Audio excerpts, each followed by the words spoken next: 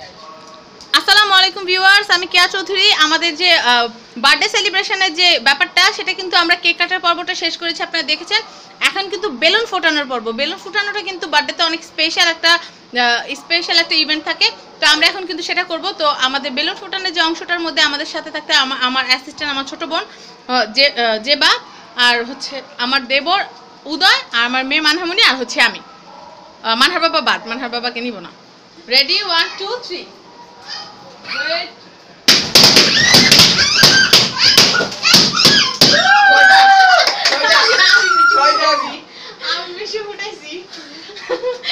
viewers contest শেষ।